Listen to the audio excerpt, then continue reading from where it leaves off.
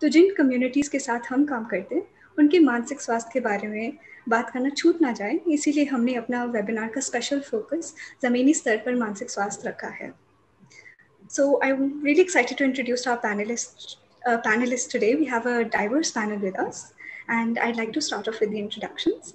Um, so we have uh, Arjun with us, who's trained as both a lawyer and a psychologist. Uh, he served as a law clerk with the Supreme Court of India. He's also developed uh, community social legal interventions to access interventions on access to justice at the Center for Social Justice. Currently, he's a program manager and research fellow at the Center for Mental Health Law and Policy. He's deeply invested in the intersections of the human psyche, culture, and social justice. We also have with us Divya. Uh, she's an anti-caste activist and the founder of the Blue Dawn. The Blue Dawn is a support group and facilitator of accessible mental health care services for Bahujan communities. By profession, she is a freelance journalist and video producer uh, whose work lies in the intersections of caste, gender, pop culture, and mental health. We have Dr. Gauri, a pediatrician. She's the director of child development at Sangat and focuses on supporting children with disabilities, especially autism.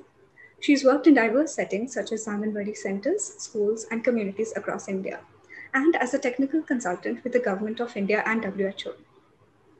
Dr. Gauri is passionate about creating innovations to support every child reach their true potential by empowering families with accessible and affordable knowledge and tools. Dr. Kishore is trained as a psychiatrist and is currently the director of the Banyan and co-director of the Banyan Academy of Leadership in Mental Health. He has over 35 years of teaching and research experience and has over 30 publications. Dr. Kishore has also received multiple awards on community mental health. He's a member of the National Mental Health Policy Group and the District Mental Health Program subgroup with the Government of India and the State Mental Health Authority in Tamil Nadu. Kavita ji हमारे एक बैरफुट counsellor हैं वो जनसास में छः सालों से काम कर रही हैं जिसमें से काउंसलिंग 2019 से कर रही हैं उन्होंने अपना बीए कंप्लीट किया है सो let's just see what happens when you put a lawyer and a psychologist, a journalist, a pediatrician, a psychiatrist, and a barefoot counselor together to talk about mental health. My first question to our panelists is really what accessibility means um, to them personally, and especially in the context of mental health. So, आपके लिए um, सेवाओं तक पहुंचाने का मतलब क्या है खास तौर पे मानसिक स्वास्थ्य के संदर्भ में um, So, I'd actually like, like if uh, Divya, you could start with this. Um, thank you, uh, Purva. Jai Bhim Sabiko. um, before I get into that question, also, uh, if I can speak in Hindi, English mix, it's fine, right? Absolutely. Yeah. Okay. Um, so I was just wondering the even the topic name. Okay. Um, it's called ABCs of moving away from uh, mainstream, and I have been uh, trying to uh, think about as also being a journalist myself and coming from the community Bahujan community, I, I have been trying to reimagine the mainstream and what does mainstream actually mean and would look like, right? Uh, and when we talk about mental health, uh, the people uh, the people on the panel here are working for the majority of Indian Indian population.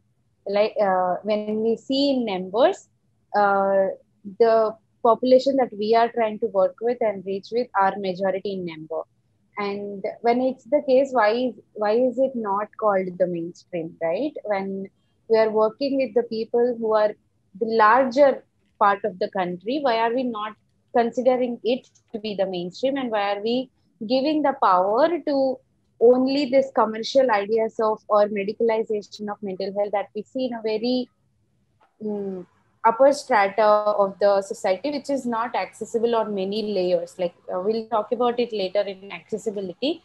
Uh, so why are we considering that mainstream? I think we it is high time that we start reimagining and redefining these terms and uh, claim that we are the actual mainstream. And um, and i believe so as well. Um, uh, because especially as at Blue Dawn, we work with the Bahujan population, which is SC, OBC, NT, If you see, uh, it's 85% of Indian population is Bahujan. so i think we are the mainstream uh, so our mental health discourse is the mainstream mental health discourse is how i would like to put it and uh, coming into the uh, question uh, Apurva, can you just repeat it again sorry i got excited in this thought right right absolutely so मैं बस ये पूछ रही थी कि आपके लिए accessibility का मतलब क्या है right so um, there are so many layers of accessibility and i hope uh, our panelists will cover it so i'll just uh, talk about from my experience with Blue Dawn. Uh, the first thing uh, uh is definitely approach. Uh, price and uh, not, awareness and all, I'm keeping it as a secondary issue that other people can bring it up. When we are talking about mental health, so in our approach, accessibility, mein kya hota hai ki, if you know already mental health क्या होता है therapy क्या होता है counsellor क्या होता है even after that when we try to go to a therapist they don't they're either they end up being uh, a, queer phobic or or casteist or like ableist at the end right so that in itself like even after uh, crossing so so many barriers of uh, that that uh, access barriers uh, towards mental health the approach is again uh, stopping me from accessing the mental health right? And this has been a major experience for many students uh, coming from uh, reservation category for example. Uh, the first thing they'll say is that the therapist will not understand my lived experience because they also have an inherent prejudice that they are bringing into the therapy room so that again make, that's one side of uh, looking at accessibility. And the other uh, angle is um, how uh, the language of mental health also is uh, again exclusionary in nature right?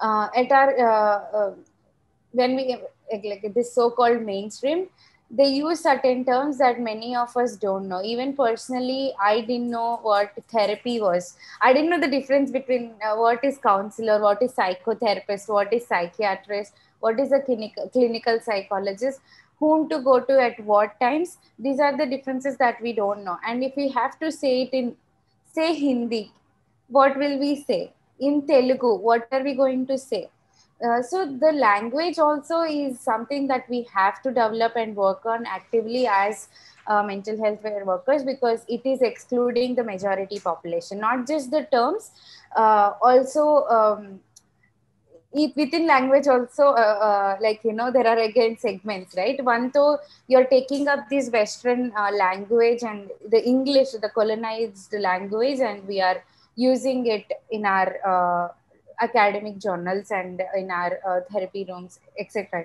practices.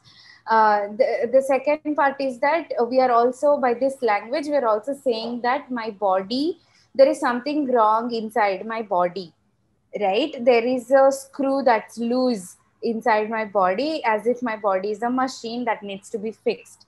Uh, that's also because when you see the history of uh, how the mental health language has been developed, it's during the industrialization when these uh, white uh, men started writing these books like looking at human bodies as machines right? Um, so uh, i feel like when we say even people use the word screw looser like it's a very telugu like in our south indian say looser is a very big uh, like common word that we use. Uh, so that's like and someone has to come and fix it inside my body. So the whole problem is inside my body so when are we talking about the structures that are uh, uh, putting me through that are making my loose screw? Uh, sorry my screw loose sorry. Right? So we are not talking about uh, those things. Um, so that's the second uh, uh, subcategory within the language part as well. Sorry i might be like going i have like so many thoughts going on in my head so i'm not able to structure it properly but i hope you get what i'm trying to say right? There are like so many layers uh, like if i have to begin with uh, where to start how uh, mental health sector especially needs to become more accessible i think we can write a book together all of our panelists. Right absolutely. Dr gauri what is accessibility to you uh, so thank you very much, first of all, for inviting me onto this panel.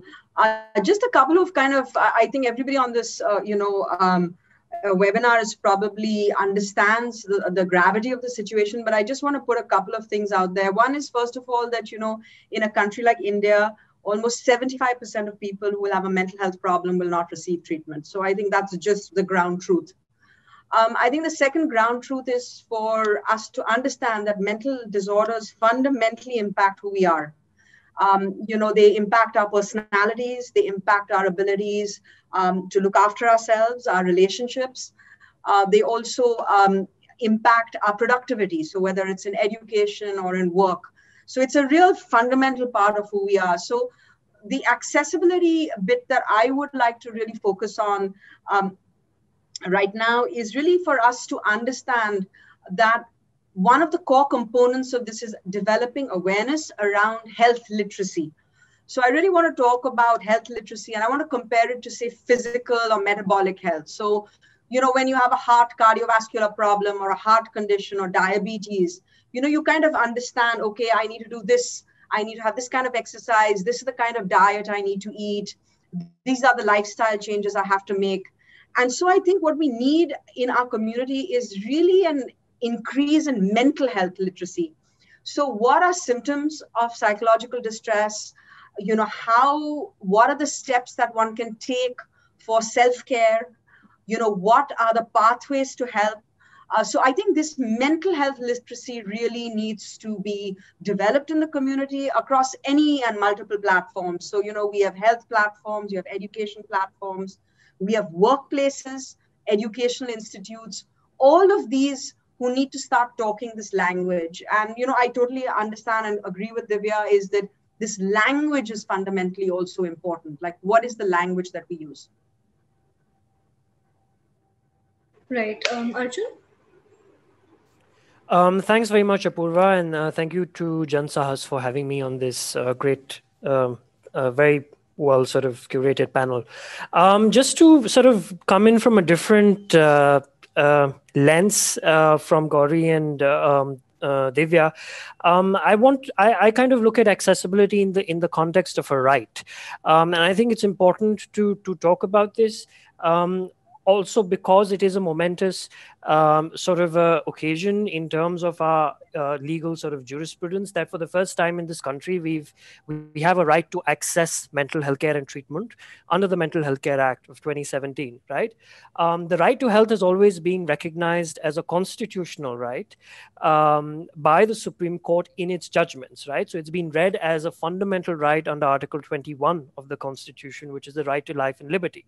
However, we've never had a statutory right to health um, or a statutory right to physical health, which actually places obligations on the central and the state governments uh, to actually provide healthcare services and provide access to healthcare services uh, to individuals and communities.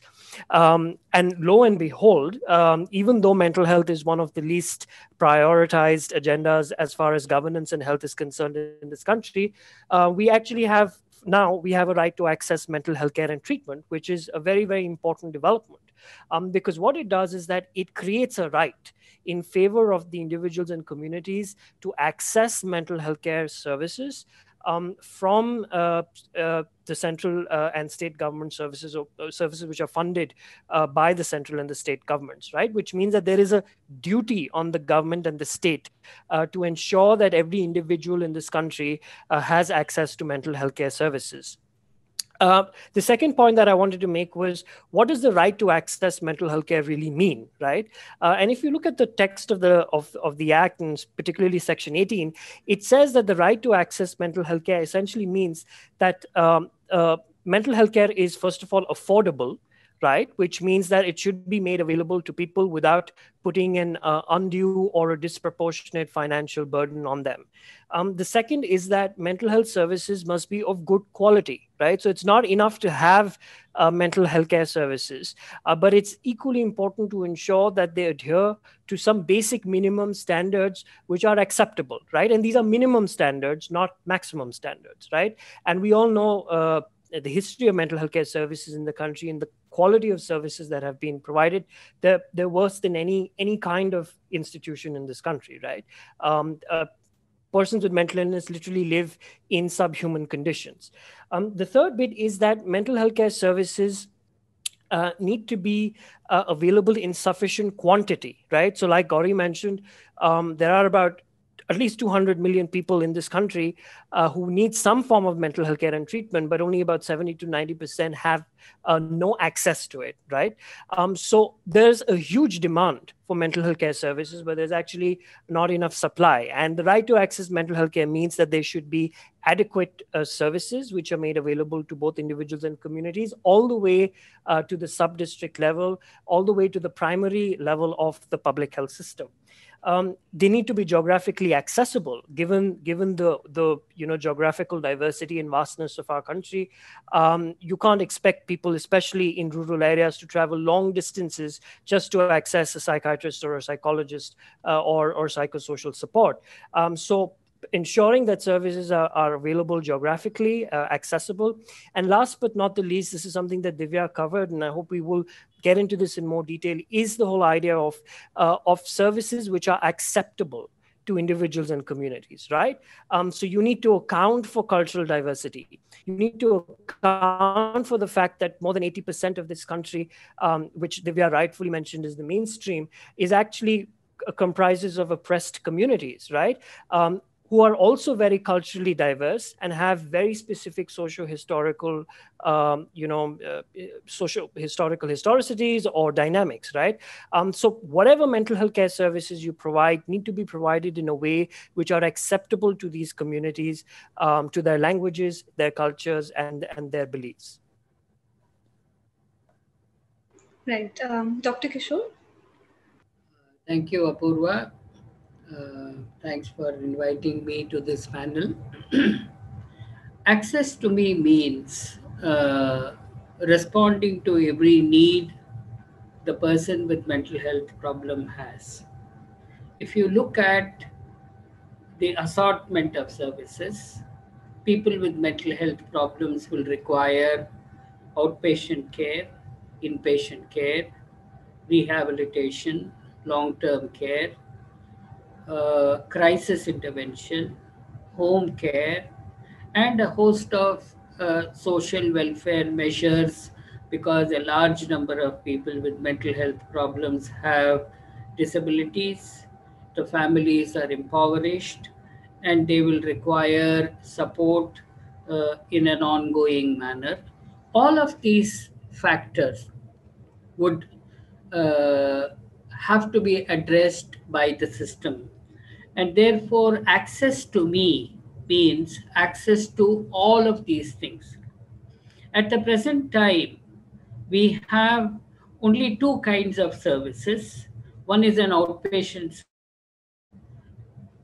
largely located far away from where people live, and a, a minimal uh, inpatient services in the form of 43 mental hospitals and uh, some 500 odd medical colleges, uh, about 725 districts with 10 beds each in the form of district hospital beds, exclusively meant for psychiatry, and a host of private services.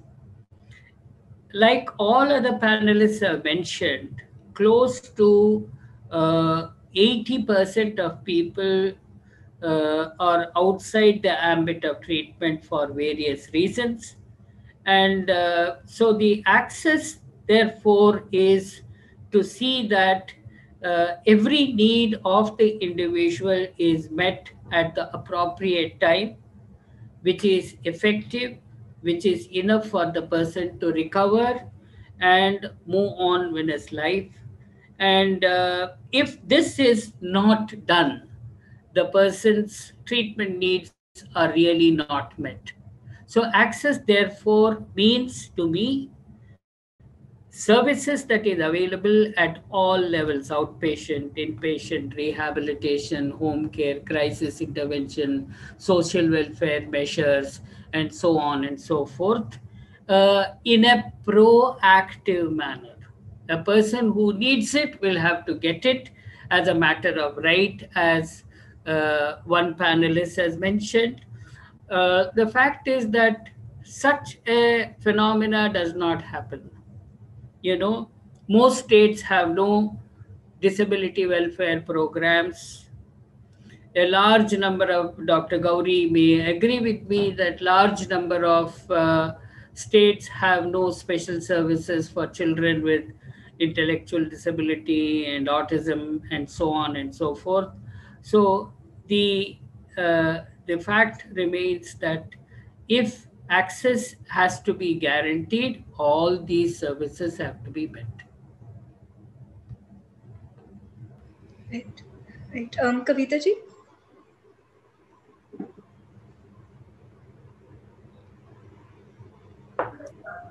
जी बहुत बहुत धन्यवाद अपूर्वा जी मैं भी यही कहना चाहूँगी कि कहीं ना कहीं जब कम्युनिटी लेवल पे हम लोग वर्क कर रहे हैं तो इसमें यही चीज़ें निकल के आती है कि उन्हें पता ही नहीं होता है कि मानसिक स्वास्थ्य मतलब होता क्या है, हम मानसिक तनाव में अपना जीवन जी रहे हैं क्या?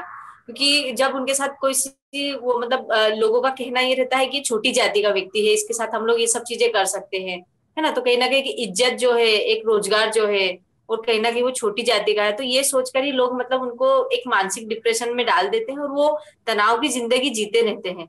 लेकिन कहीं ना कहीं उन तक उस वो व्यक्ति पहुँच ही नहीं पाता है कि उन्हें बताए कि हाँ आप मतलब किस डिप्रेशन से गुजर रहे हो या आपको क्या परेशानी है। कभी कभी वो मानसिक तनाव में होते हुए भी मतलब वो ये सोचते हैं कि हमें डॉक्टर के पास जाना चाहिए तो एक नॉर्मल डॉक्टर के पास जाकर अपनी परेशानियों को रखते हैं कि हम इस चीज़ से परेशान है या हमें नींद नहीं आ रही है या जो भी है। तो वो डॉक्टर मतलब उस हिसाब से उनका ट्रीटमेंट वगैरह कर देते हैं। फिर वो कहीं ना कहीं जब भी ठीक नहीं हो पाते तो उनके अंदर एक आत्महत्या जैसे विचार भी मतलब आने लगते हैं कि हम लोग मतलब आत्महत्या कर लेते हैं, क्योंकि ऐसा जीवन जीने से फिर मतलब ही क्या है। तो कम्युनिटी लेवल पे तो उन्हें बिल्कुल पता ही नहीं होता है कि मानसिक तनाव होता क्या है। और हमें मतलब हम किस बीमारी से मतलब जूझ रहे हैं और इसे कम करने के लिए हमें करना क्या है? शायद हम छोटी जाति के हैं तो यही चीज़ हमारे लिए होंगी और इसीलिए हम लोग डिप्रेशन में जी रहे हैं। जी जी। तो जैसे हम अभी देख रहे हैं तो काफ़ी वाइड वैरायटी ऑफ़ मतलब एक्सेसिबिलिटी का मतलब क्या है? ये काफ़ी वेरिड है। मतलब अप्रोच uh, से लेके भाषा से लेके जो अफोर्डेबिलिटी की बात हुई सर्विसेज़ फाइनेंशियली भी इनएक्सेसिबल होती है जोग्राफिकली भी इनएक्सेसिबल होती है जो हमारा ट्रीटमेंट गैप है वो भी काफ़ी लार्ज है। एंड जैसे आई थिंक यहाँ पे राइट की भी बात होती है मेंटल हेल्थ जानकारी के बारे में भी अभी बात हो रही है एक्सेसिबिलिटी के कॉन्टेक्स्ट में। एंड इसी पॉइंट से मैं अभी थोड़ा think हमें स्टेट का रोल भी देखना चाहिए I think we should look at the state's role in mental health and um, Arjun, could you help shed some light on what mental health and accessibility mean in like a legal framework? sure. Um, so Purva, uh, uh, it's very interesting. First of all, to to obviously state the problem, uh, and that is the fact कि इस वक्त हम जो हमारे देश में मानसिक स्वास्थ्य को लेकर एक बहुत बड़ा क्राइसिस है uh, क्योंकि जिस किस्म की हमारी आबादी है और जितनी जितना बड़ा हमारा देश है अब वहाँ पे उतने लेवल के मेंटल हेल्थ सर्विसेज़ ना ही मेंटल हेल्थ प्रोफेशनल्स मिलते हैं। तो सबसे पहले जो ये कानून ये कहता है कि जो बहुत सेंट्रल और स्टेट गवर्नमेंट्स पे ये जवाबदारी है कि वो प्राइमरी हेल्थ सेंटर से कम्युनिटी हेल्थ सेंटर से डिस्ट्रिक्ट लेवल हॉस्पिटल से स्टेट हॉस्पिटल लेवल तक अब पूरे लेवल्स में उनको मेंटल हेल्थ सर्विसेज़ जो है मानसिक स्वास्थ्य की जो सेवाएँ हैं उनको इंटीग्रेट करनी है। तो ये जवाबदारी गवर्नमेंट पे है कि पब्लिक हेल्थ सिस्टम के हर स्तर पर मेंटल हेल्थ सर्विसेज़ लोगों तक पहुँचाए जाए। um, दूसरा है जैसे कि डॉक्टर किशोर ने कहा कि मेंटल हेल्थ सर्विसेज़ में ज़्यादातर ओपीडी और आईपीडी की जो सर्विसेज़ वो वो इंक्लूड होते हैं तो वो ज़रूर उस प्रकार के सर्विसेज़ पहुँचाने चाहिए लोगों को। लेकिन उसके अलावा भी जो हम रिहेबिलिटेशन की जो बात करें तो जो कम्युनिटी रिहेबिलिटेशन सर्विसेज़ है और जो कम्युनिटी रिहेबिलिटेशन फैसिलिटीज़ है, वो भी पहुँचाने की जवाबदारी सेंट्रल और स्टेट गवर्नमेंट्स पे दी गई है इस कानून के द्वारा। और इसका ये मतलब है कि कानून का ये फोकस है कि हर कोई जो रोगी हो, जिसको मानसिक स्वास्थ्य की परेशानी हो, उनको हॉस्पिटल्स में एडमिट करने की ज़रूरत नहीं पड़ती है। वो एक छोटा सा सबसेट ऑफ़ केसेस होता है जो बहुत सिवियर केसेस होते हैं, जिनको घर पे या कम्युनिटी में उनकी ट्रीटमेंट नहीं की जा सकती है। ज़्यादातर लोगों को कम्युनिटी में ट्रीट किया जा सकता है, लेकिन उसके लिए कम्युनिटी रिहेबिलिटेशन फैसिलिटीज़ की ज़रूरत पड़ती है। जब लोग एडमिट होते हैं और उनके उनके जो कंडीशन है वो इम्प्रूव होता है और उनको हॉस्पिटल में रखने की और ज़्यादा आवश्यकता नहीं होती है, लेकिन वो कम्युनिटी में जाने के लिए तैयार नहीं होते हैं। तो उनका रिहेबिलिटेशन करना ज़रूरी होता है। और उसके लिए सरकार पे ये जवाबदारी है कि वो half way homes sheltered homes और सपोर्टेड अकोमोडेशन बनाए हर डिस्ट्रिक्ट में, हर स्टेट में और खास करके उन लोगों के लिए जिनकी फैमिलीज़ उनको अबैंडन कर देती है। और हमने ये काफ़ी देखा है हमारे मेंटल हेल्थ हॉस्पिटल्स में कि बहुत से ऐसे पेशेंट्स होते हैं जिनकी फैमिलीज़ उनको अबैंडन कर देती हैं और इसके कई कारण हो सकते हैं। एक तो ये होता है कि पेरेंट्स और जो फैमिली है वो मानसिक स्वास्थ्य को समझ नहीं पाते हैं एक स्टिग्मा है इसके बारे में um, दूसरा ये हो सकता है कि फाइनेंशियल बर्डन बहुत पड़ जाता है इन फैमिलीज़ पर खास करके अगर वो बिलो पॉवर्टी लाइन से आ रहे हैं। Um, तो uh, उसके वजह से इन लोगों को uh, उनके फैमिली मेंबर्स को अबेंडन किया जाता है और वो हॉस्पिटल्स में कई सालों तक दस पंद्रह बीस सालों तक उनको रखा जाता है। तो उनके लिए भी स्पेशल जो हम कहते हैं शेल्टर्ड अकोमोडेशन या सपोर्टेड अकोमोडेशन जहाँ पे वो खुद अपने आप रह पाए। और जो भी उनको सपोर्ट की ज़रूरत है, या तो उनको काउंसलर की ज़रूरत है, या केयर गिवर की ज़रूरत है, उनको वो सपोर्ट दिया जाए। इसके अलावा कानून ये भी कहता है कि जो दो जो वर्ग हैं, एक तो बच्चे और दूसरे जो सीनियर सिटीजन हैं, ये दो काफ़ी एक्सक्लूडेड ग्रुप्स हैं, जिनके लिए इनफ मेंटल हेल्थ सर्विसेज़ नहीं प्राप्त किए जाती हैं। तो उन, इन पे भी ज़्यादा फोकस करने का एक मतलब दायित्व दिया गया है गवर्नमेंट को और उनको, उनकी जवाबदारी है कि वो चाइल्ड मेंटल हेल्थ सर्विसेज़ और सीनियर मेंटल सिटीजन के लिए mental, special mental health services provide करें। इसके अलावा ये बहुत महत्वपूर्ण जानकारी है कि कानून ये भी कहता है कि कोई भी परिवार या कोई भी व्यक्ति इस देश में जो बिलो पॉवर्टी लाइन है ठीक है? और ये ज़रूरी नहीं है कि उनके पास बिलो पॉवर्टी लाइन कार्ड हो या ना हो, क्योंकि उसको पीपीएल कार्ड्स को भी लेकर हमारे देश में काफ़ी मुद्दे हैं कि सबको वो प्राप्त नहीं होते, उसमें भी काफ़ी पॉलिटिक्स है। लेकिन जो भी फैमिली मतलब जो पॉवर्टी लाइन के नीचे हैं, उनको free of cost mental health care services provide करने करना चाहिए गवर्नमेंट को तो उन पे वो ये जवाबदारी है।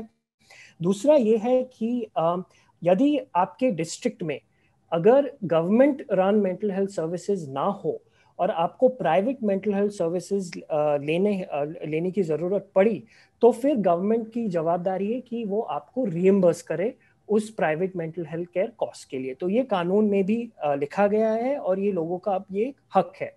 तो अगर आपके डिस्ट्रिक्ट में मेंटल हेल्थ सर्विसेज़ नहीं है गवर्नमेंट के द्वारा तो फिर आप प्राइवेट मेंटल हेल्थ सर्विसेज़ के यहाँ जा सकते हैं और ज़रूरी नहीं कि आपको कोई और राज्य ट्रैवल करना पड़े बहुत दूर ट्रैवल करना पड़े। आप कोई भी प्राइवेट मेंटल हेल्थ सर्विसेज़ प्राप्त कर सकते हैं और उसके द्वारा आपको रिइम्बर्समेंट मिला दिया जाएगा। दूसरा महत्वपूर्ण बात यह है कि लोगों कानून ये भी कहता है कि जो भी मानसिक स्वास्थ्य से पीड़ित जो कि वो जो इसेंशियल ड्रग्स लिस्ट पे जो भी दवाएँ लिस्ट की गई हैं, उनको फ्री ऑफ़ कॉस्ट ये दवाएँ दी जानी चाहिए कोई भी गवर्नमेंट या पब्लिक मेंटल हेल्थ या पब्लिक हॉस्पिटल से। तो उनको कोई भी दवाई खरीदने के लिए जो भी एसेंशियल ड्रग्स लिस्ट में है, और ये this includes mental health care के लिए जो मेडिसिन हैं that includes that it also includes AYUSH medicine such as Ayurvedic और होम्योपैथिक मेडिसिन ये सारी भी दवाइयाँ उनको फ्री ऑफ़ कॉस्ट मिलनी चाहिए तो ये कुछ ऐसे प्रावधान हैं जो सरकार पे एक मतलब एक जवाबदारी रखते हैं कि लोगों तक जो right to access mental health care है वो एक मतलब रियलाइज़ हो पाए उनके लिए Right. Thank you. Um, and uh, Dr. Kishore, since you've also had a lot of experience working with NMHP and DMHP, yeah, would you also yeah. like to add on to yeah. this? Uh, since India is a welfare state, the responsibility of organizing services fundamentally will rest with the government. And therefore, the services has to be organized in such a manner that all strata of the society, for example, people, people living in villages, people living in urban locations, slums, homeless people, marginalized people, elderly, children, okay, and socially disadvantaged individuals, all of them uh, have to receive care. But the biggest challenge is that one size does not fit everybody. Therefore, we will have to uh, design our services in such a manner that every section of the society will have to receive it as a matter of right. The, the closest a person can receive care is in a primary health center. Every bit of the land is covered by primary health care services in India. For example, 30,000 population is the uh, catchment area for a primary health center in rural areas, while it is about 12,000 in hilly region. And every primary health center has uh,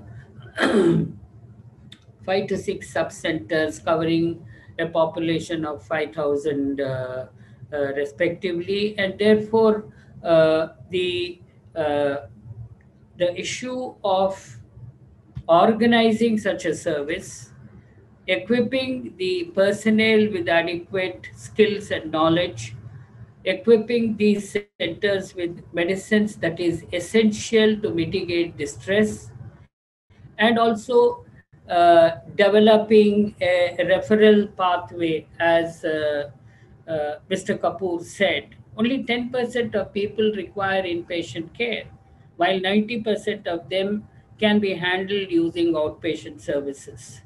But as we go along the treatment path, close to 40% of people will have to live with enduring disability and their needs have to be met in a completely different manner. It is this population who can potentially be abandoned by their families or families will not be in a position to take care of them or families are in tremendous amount of duress taking care of them. And we have to think of creative methods like providing them support through the social welfare department and also to incentivize care. To think of incentivizing families for care as an expensive proposition is the most stupid thing one can ever do because if we don't provide care, they are likely to become homeless. If you take a typical district, approximately 6,000 people are likely to be there in a population of 1.2 million people who have very high needs and their needs are never met. In the best scenario, they have only 50% uh, 50 beds available for addressing their needs and you can understand the discrepancy that exists. So therefore, the state and the central government will have to, uh, the central government will have to fund mental health services. All along the mental health services center has always provided funds to the state. Uh, it is unfortunate the state has not used these services the state also will have to invest and look at the primary care, secondary care, tertiary care services, strengthen them so that its population is able to receive care.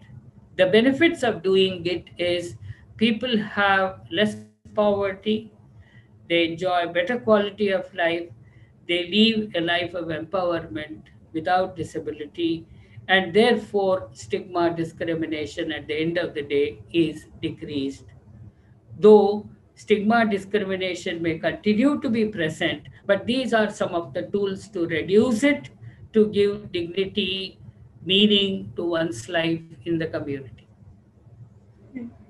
Thank you, both of you. I think when you're talking about the law, Arjun, there were a lot of things that I didn't really know about. I think um, even though these acts exist, even though the law says there are some things that um, there are some rights that we have uh, to access mental health care services, I think the इसकी जानकारी अभी तक लोगों के पास नहीं पहुंची and doctor Kishore I think you very nicely said कि हमें ये जो स्टेट्स uh, तक फंडिंग जाती है वो हमें कैसे इस्तेमाल करनी चाहिए आई थिंक बहुत ब्यूटीफुली आपने बताया and specially in the context of मतलब डिग्निटी हम एम्पावरमेंट कैसे कर सकते हैं हम होमलेसनेस कैसे प्रिवेंट कर सकते हैं आई थिंक आपने अब दोनों ने बहुत अच्छे से सम किया है Uh, now I just want to shift, like when we've talk, uh, spoken about uh, accessibility to mental health care services, what it means, uh, we also need to think about like the large treatment gap that we've spoken about.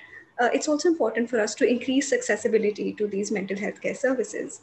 Um, and what do you guys think about this? Like, if we can start with uh, Dr. Gauri, what do you think we can do to increase services, uh, increase accessibility to services? Yeah, so you know, I actually because I'm coming here with the background of being a pediatrician, so I one of the things I wanted, I mean, I want to talk about two different approaches uh, to uh, you know better mental health in some ways in the community, and so one I think is a broad approach is promotive, so how do we promote better mental health? And I think, you know, because I work with young children, you know, the, the, literature is really strong now that we know that positive parenting practices actually really buffer and build resilience in young children uh, to actually be able to manage uh, adverse environments that they may be growing up in. So I think this is potentially a really, you know, so positive parenting practices that scale uh, to all families would, would allow children to actually build resilience amongst themselves. Similarly, I think another promotive practice, and in some ways, I think you know Divya kind of uh, mentioned it in what she was saying, is that in our schools and universities, we have a huge number of children who are excluded from what we term as the mainstream. So um, uh, I think how do we set up services in a way that actually target these um, groups that have been traditionally marginalized? How do we get them uh, you know through peer support groups to mentorship programs you know to try and create ways in which people are comfortable to come out when they have problems uh, or they have psychological distress? I think the second thing also for me is preventative services. And so the way i think about this is uh, you know we look at young people in school settings and uh, one of the very uh, you know we're all you know we have life skill programs by the dozen but what we really need to give young children is accurate knowledge. Uh, and so i'm just going to give you one example again.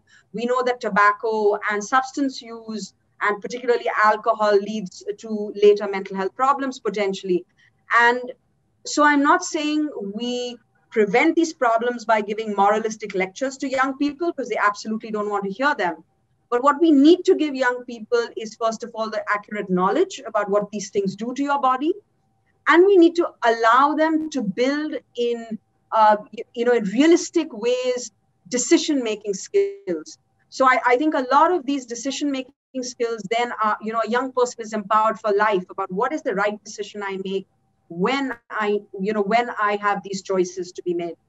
Um, I'm not going to talk so much about treatment services because I think there are many experts, but I think certainly one of the things that you know we've been doing is training up non-specialists, and we have Kavita on on on the panel, so I'm going to leave that for her to talk about really. All right. Uh, thank you. And just coming to Kavita ji then, um, Kavita ji आपको क्या लगता है ये जो मानसिक स्वास्थ्य की सेवाएं हैं हम उनका पहुंच कैसे बढ़ा सकते हैं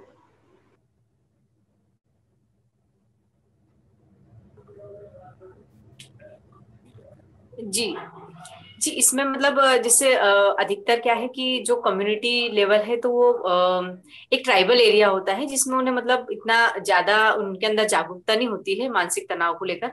तो कहीं ना कहीं जब हमें इस, इसकी ज़्यादा पहुँच बढ़ानी है तो हम समुदाय लेवल से ही स्टार्ट कर सकते हैं। उनके साथ हम लोग समय समय पर मीटिंग्स कर सकते हैं। स्कूल, छात्रावास शेल्टर होम्स वगैरह जो है, वहाँ पे हम लोग कहीं ना कहीं ऐसे लिटरेचर लगाए कि बच्चे उसने उन्हें मतलब आसानी से समझ सके कि डिप्रेशन मतलब होता क्या है किस तरीके से हम उसे समझ सकते हैं है ना? और जो गवर्नमेंट अधिकारी जो होते हैं हम लोगों का जैसे जो स्टाफ रहता है वन स्टॉप सेंटर है चाइल्ड लेबर है चाइल्ड लाइन है चाइल्ड वेलफेयर कमिटी है तो कहीं ना कहीं हमें इनके साथ भी आ, काफ़ी समय समय पर मीटिंग्स वगैरह भी करना चाहिए मानसिक तनाव को लेकर क्योंकि जिस तरीके से हम लोग बातचीत करते हैं समझाते हैं मानसिक तनाव के बारे में तो कहीं ना कि उन्हें भी इस तरीके से एक नॉलेज मिलते रहना चाहिए समय समय पे कि हमें किस तरीके से कम्युनिटी से या एज ए सर्वाइवर से हमें बात करनी चाहिए। और दूसरा ये है कि एक अवेयरनेस जो होता है कि हम गाँव लेवल पे ऐसे कुछ संगठन वगैरह भी बना सकते हैं, उनके साथ मीटिंग कर सकते हैं, उन्हें लिटरेचर वगैरह भी दे सकते हैं। तो ये चीज़ें इसमें हो सकती है। और जो गवर्नमेंट अधिकारी है, उनके साथ हम वर्कशॉप वगैरह कर रहे हैं, उन्हें समय समय पर ट्रेनिंग्स वगैरह थे जिससे वो काफ़ी लोगों को समझ सके। और हम भी इन तक मतलब जब समुदाय लेवल पे उन्हें पता होगा कि हमें यहाँ जाना है तो उनके साथ पहले रिलेशन बनाना काफ़ी ज़रूरी है और उन्हें बताना बहुत ज़रूरी हो जाता है कि मानसिक तनाव की सेवाएँ पाने के लिए आपको, आप मतलब कहाँ कहाँ तक जा सकते हो आपके लिए ये सब चीज़ें बनी हुई है तो व्यक्ति उसे आसानी से समझ सके। और उन्हें मतलब सम, समझ भी सके और वो वहाँ तक पहुँच सके। क्योंकि कभी कभी ऐसा होता है कि हर जगह पर हम लोग मतलब पहुँच नहीं पाते हैं। तो हम चाहते हैं कि इस तरीके से मतलब जो स्कूल है छात्रावास है और कम्युनिटी लेवल पे भी हम लोग एक मीटिंग वगैरह करें और लिटरेचर ऐसे उन्हें दे कि वो आसानी से उसे समझ सके। हम प्रदर्शनी वगैरह भी लगा सकते हैं कि जैसे अगर हम लोग मीटिंग कर रहे हैं तो किस तरीके से मानसिक डिप्रेशन मतलब होता है और व्यक्ति उसे समझ सके कि हाँ ये चीज़ मानसिक डिप्रेशन है और इसे इस तरीके से समझा जा सकता है। तो ये सब चीज़ें हम लोग मतलब करते हैं, क्योंकि अधिकतर क्या है कि यहाँ मतलब कम्युनिटी लेवल पे पहुँचने के लिए ही हमें मतलब समय लग जाता है, क्योंकि जो वहाँ के जो दबंग व्यक्ति होते हैं, वो हमें पहुँचने नहीं देते हैं वहाँ तक। और उनका कहना होता है कि एक हमारी कल्चर में ये लिखा है कि अगर किसी व्यक्ति के साथ कुछ हो गया है तो वो उसी की गलती थी, या वो मतलब उसे अब गाँव में भी रहना पड़ेगा। तो लोगों के अंदर वही एक डर पैदा कर देते हैं कि मतलब वो उठ के बाहर नहीं आ सकते हैं। तो कहीं ना कहीं उनके साथ भी जो गाँव के जो व्यक्ति वगैरह रहते हैं, उनके साथ हम लोग मीटिंग्स वगैरह करें, उन्हें समझाएँ, उन्हें बताएँ। वो मतलब ये चीज़ें हम लोग इसमें कर सकते हैं। क्योंकि जब हम उस तक पहुँचने की बात कर रहे हैं तो कहीं ना कहीं जो रुकावटें भी बीच में आ रही है तो उनके लिए भी हम लोग क्या कर सकते हैं? और जो जिसे मतलब हमने भी ऐसा ऑब्जर्वेशन भी किया है कि जो डिस्ट्रिक्ट जेल होता है तो जेल के अंदर भी जो मतलब क्राइम व्यक्ति जो कर देता है और जो आता है मतलब उसके अंदर तो वो ही कहीं ना कहीं एक मानसिक डिप्रेशन में ज़िंदगी जी रहा होता है और वो वहाँ से निकलने के बाद भी वो क्राइम करने की कोशिश करता है। उससे ऐसा लगता है कि शायद मैंने ही सब गलत किया है तो मैं फिर से ये चीज़ें कर सकता हूँ। तो ये मतलब हम लोग इसमें कर सकते हैं कि मीटिंग्स वगैरह पॉम्पलेट्स है वर्कशॉप वगैरह हम लोग इस पे समय समय पर कर सकते हैं। जी बिल्कुल। डॉक्टर किशोर? या organizing services to reach out to the population in need uh, should take the following into consideration. Mental health is an universal phenomenon affecting all age groups, both genders, and it affects both the rich and the poor. So the combination of these services should be both governmental and non-governmental, private, volunteers, all of them have to combine to deliver these services in the community. But the most important thing is that, as Kavita, Dr. Gauri, and other colleagues have also said, that there is an element of reaching out to people proactively is an important determinant in delivering mental health services today. And that can be done through the ASHA worker, the Anganwadi worker. Anganwadi worker can respond to needs of children, the ASHA worker can respond to needs of both adults and children and pregnant women and women in particular. And the health workers can look at multiple national programs where mental health is also one of them. But the issue here is how much proactive they can be in reaching out these services. So that should include early identification, referral to the nearest hospital, that is the primary health center. The doctor should be trained in mental health technology, and therefore he is able to deal with these problems at the earliest. Close to 70% of all mental health problems can be handled in, in a primary health center itself. But as it stands today, there is too much of emphasis on specialist driven program. The specialist driven program is far away from the villages, far away from uh, where the patients live, and the attrition or inability to use the services is so much that they don't use it. So, a very small proportion of people can actually reach the specialist services, which is fundamentally not required at the first stage. And a primary health center team be it a nurse, a health worker, a doctor, can competently deal with these problems provided they are given the training and the primary health center becoming the first referral unit, though the community health center is technically referred to as the first referral unit for specific problems. But if the primary health center is able to deal with uh, emotional distress, epilepsy, intellectual disability, mild depression, and identifying people with psychotic illness as early as possible because the health worker and the mental uh, the primary health care team is engaged in community needs assessment and this can possibly identify people with mental health problems and that includes other mental health problems as well like dementia. So if this is done then the uh, the problem is solved but the difficulties are that people are not motivated to do these extremely simple tasks often mental health is considered as too complex complicated a, a language that is ununderstood by people, which is not true.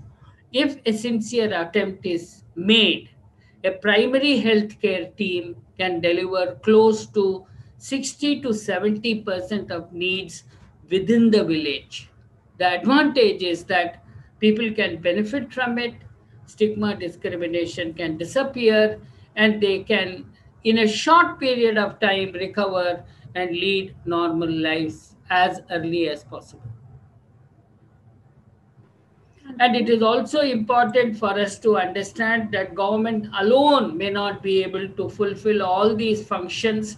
So therefore, there is need for collaboration between non-governmental agencies, governmental agencies, volunteers, other kinds of resource that exists in the community so that jointly they are able to address the needs of people in the community. Right, right. Thank you. Um, Arjun? Um, right. So uh, I think Dr. Kishore has really sort of beautifully, uh, really encapsulated all of the various dimensions to to sort of increasing accessibility. I just wanted to uh, kind of uh, focus on a couple of points. One is I completely agree with Dr. Kishore that I think we need to invest uh, in our social capital, uh, which is our communities themselves. I think, um, given the complex society which we have, um, and also to understand mental health as as not just as a as a phenomenon which requires medical or clinical attention, but also requires various other dimensions of support and care. Uh, I think it's really important to in, invest in social capital and communities. Um, you know to provide uh, you know I, I i kind of call this the democratization of mental health service providers right um, because um, like dr kishore said that a, a, majority of the cases are actually things which could be um, resolved through the informal healthcare system and i think it's also important given um, given the deeply hierarchical society that we have right um, and the kind of social discrimination that plays out at every level, whether it's in the basis of gender or caste uh, and even sexuality. Um, I think it's very, very important to invest in a cadre of mental health care providers who uh, share similar lived experiences uh, and life worlds of, of the communities and the people that they're reaching out to. Uh, and I think that is very, very important because they come with a very different kind of knowledge and exposure to the lives of these individuals. And nobody would over here would disagree that providing mental health support and care um, makes it incumbent to touch upon those various aspects of their lives, right? Um, the second uh, point that I wanted to raise is uh, it's really the, the elephant in the room, um, which is the whole issue of political will, right? Uh, and I, am specifically referring to this in the context of the state, um, because as Dr. Kishore also mentioned, the state um, we live in a in a liberal democracy, which is uh, which also guarantees certain fundamental rights. Um, so we're not entirely a welfare state. We're also a democracy which which ensures rights to its own citizens, right? Um, and th- so the state does have the primary duty on providing mental health care services, um, but for some reason. Um, mental health has not been a priority, right? Uh, uh, and well, just in in fact, even health has not been a priority. Um, and we've seen that, uh, of course, people living on, on the margins have, of course, uh, experienced that one hand, but we've we've also seen that specifically with the pandemic now to see how broken our, uh, our healthcare system is. Um, so I think the, the need is to to kind of really work for civil society uh, to lead that movement and and generate that political will on part of the state to give mental health the priority that it deserves. Um, the second issue is really one about investment. Okay. And I think um, that's really important because whatever you say, whether it's informal healthcare system or uh, providing mental health care services, the primary, secondary, tertiary levels, um, range of mental health care services, it requires investment, right? Which means that the government needs to put its uh, money where it counts.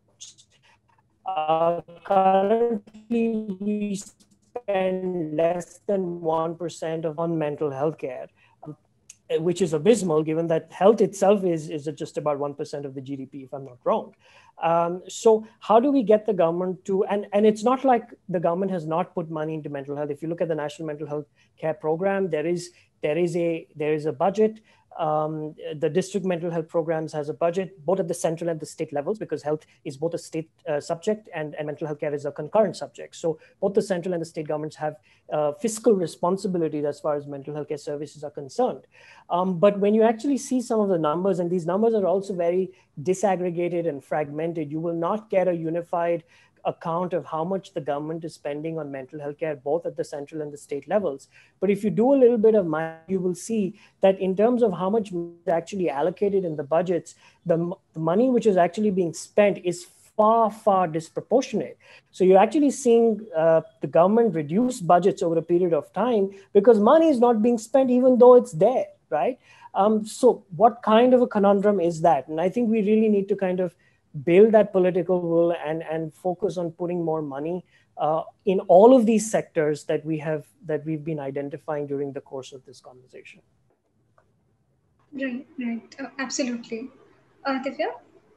Yeah. Um, so I, I'm just I just wanted to add what uh, to what Arjun has mentioned. Um, so there is definitely there are uh, we have so many rights with regards to the mental health act that we have right now and there is so much scope for us to work at ground level uh, with the help of asha workers and community workers as well uh, but uh, from an activist and journalist perspective if i were to talk about the ground reality right uh, um, एक तो like budget uh, that is a given thing that uh, India spends only 1.2 1.28 per, percentage of uh, from GDP on health, and uh, usme se it's just 0.5 percent on mental health.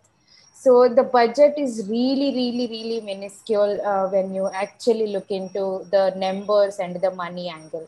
And uh, coming, the second uh, layer to that is the implementation level how are the how are these agencies how are these government bodies are implementing it when there is an act that is passed, there are other procedures. Maybe Arjun can elaborate on it with regards to the legal perspective. And see, we can just uh, take an example of PDS, right? Um, if I were to give an uh, example of what happened in Andhra Pradesh with the two rupees uh, per kg rice, that was a, a, a age-old um, uh, PDS uh, a scheme that we had uh, under TDP government back then. So uh, everyone were happy that we will get uh, 1 kg rice for 2 rupees. So the government uh, proposed it at a grand scale. It was a very big success. And then uh, like, you know, all, crossing all the stages, when we had the rice in our hands, it has a lot of stones. It has worms in it. The rice is something that's not edible but still people had to eat it because there is no option. So that's the pds which is again like if you see when people talk about how people prioritize these things that's a survival right? You have to eat food to survive. So when the pds and the rice scheme is acting like that uh, we have to also start questioning how are these people implementing such progressive acts implementing such progressive uh, uh, laws and rights that are uh, uh, that are there for people with mental health uh, issues right? So this is something we need to constantly ask. Uh, yes there are uh, uh, things that are happening at the policy level but what is happening at the ground reality? So the second thing to this is the we also need to start thinking about the alternatives right? So of course we need to give them tools of, and develop mental health knowledge uh, while doing that simultaneously i also believe we need to build upon the community knowledge that exists right so there is a vast amount of articulation and knowledge that every community comes uh, with uh, because um, uh, in, I, would like to give examples to explain uh, things, but again, uh, um, I have I recently wrote about it as well. So if I have to talk about how my mother and their group uh, acted, right? So these are these women who used to chit chat, uh, all of them going through domestic violence, all of them going through mental health issues because of the domestic violence as well as caste oppression so all these women used to just meet over chai every evening. It's a very big ritual in small towns. If you see, they sit outside those house in that concrete. Uh, we call it banda, like you know, uh, outside the houses. So they used to, they sit there and they talk and they discuss for an hour or over chai. They'll discuss uh, what's happening in domestic issues what's happening uh, financially. They'll also discuss politics. But we look at what we how we look at them is that these women are just there to do gossip. All women can do is just gossip right? So we are just discounting their uh, uh, uh community well-being uh, like as in their modes of uh, coping mechanisms right? It's their way of surviving. And also they if you see so many women have informal money lending systems uh, many women developed these structures and they survived in the face of patriarchy and they, uh, they managed to get healthcare and education for their children through these community supports that they got within these, their own circles. This is also, I look at it this also as mental health care, as, uh, as practices of, uh, you know, mental, uh, practices towards mental well-being, right? So these are the things that we also need to acknowledge that these systems already exist. People are also calibrated on their own uh, to survive uh, uh, because they are uh, experts by their lived experience at the end right? So they know it better than us going to facilitate certain things and giving an external wisdom and language to them. So i also believe uh, while it's all these things needs to be worked simultaneously. We cannot discount anything. There need we we need policies. We need uh, community workers uh, uh, giving mental health tools to the grassroots communities. We also need to build upon the knowledge that already the community is uh, practicing without discounting uh, the existing knowledge. Thank you Right, thank you. And I think everyone has highlighted a lot of uh, different angles to increasing accessibility. I think we've looked at trainings in uh, schools, we've looked at uh, trainings with healthcare workers, we're looking at a lot of multiple levels here, like even with the government or NGOs. And I think like we're, uh, like, I think a lot of people also mentioned non-specialized mental health care. Uh, like rather than restricting it to mental health specific uh, fields, we're talking about, you know, just kind of thinking of alternatives as a way to increase accessibility. And here, if we can talk a little bit more about these systems, about how uh, we know that the current systems, the systems that exist, they're not enough to meet the demand. Like the treatment gap is so large right now, it's not enough to meet the demand. And like here, if we can talk a little bit more about these systems that we're talking about, uh, you know, about these ways that we're providing such services, which might not be highlighted as such. Um, yeah, Arjun, could you start off with this? If uh, anything that you'd want to say in terms of like alternate ways to provide mental health services. No, I just my my only point is that I think you know uh, we need to look at mental health uh, beyond just uh, a health issue. I think it is an intersectoral issue um, which cuts across um, you know sort of different sectors, whether it's agriculture, whether it's uh, education, whether it is uh, social justice and rehabilitation, um, so on and so forth. Uh, so I think uh, uh, one of the biggest challenges to accessibility, and I think one of the things that I wanted to mention was when we're talking about accessibility, it's just not about mental health care services. It's also about access to psychosocial support, right? Given that uh, the relationship between social determinants um, and mental health or mental ill health. Uh, and, and you as Jan Sahas have been working precisely at the intersection of these, these two uh, sort of uh, very important constituencies. Um, so I think it's important for mental health to stop being seen as a, you know, as this distinct sort of uh, concept, you know, which needs to be appended with a hyphen to everything else. I think mental health needs to be. Uh, I was just saying this over a panel yesterday. I think you know people talk about social justice and mental health. I think there is no there is no binary over there. I think mental health is a part of social justice. Uh, which means that uh, we need to draw links between social determinants such as unemployment, financial